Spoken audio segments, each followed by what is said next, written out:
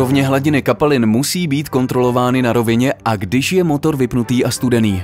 Nejprve vyhledejte ovládání otevírání kapoty. Nachází se na levé straně palubní desky. Vystupte z vozidla, mírně nadzvedněte kapotu a stisknutím pojistného jazyčku u loga Renault kapotu uvolněte. Poté kapotu zvedněte. Pomocí těchto vzpěr zůstane sama na místě. Ke kontrole hladiny oleje vytáhněte měřič.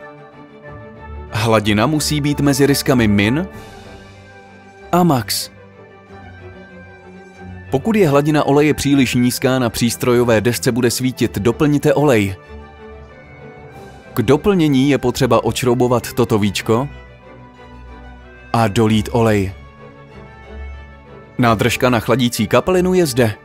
Hladina kapaliny musí být mezi riskami min a max.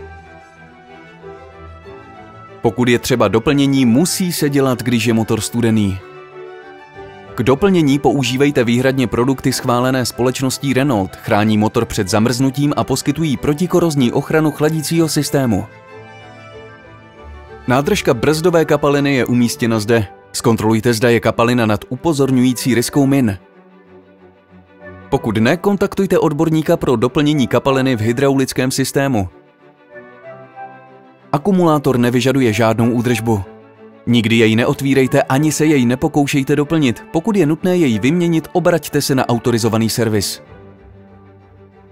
Nádržka na ostřikovací kapalinu je zde. Chcete-li doplnit kapalinu, otevřete uzávěr nádržky a lijte kapalinu, dokud není vidět. Vždy používejte vhodný typ kapaliny do ostřikovačů. Kapotu zavřete tak, že ji podržíte uprostřed asi 30 cm nad zavřenou polohou a poté ji pustíte. Automaticky se zajistí vlastní vahou.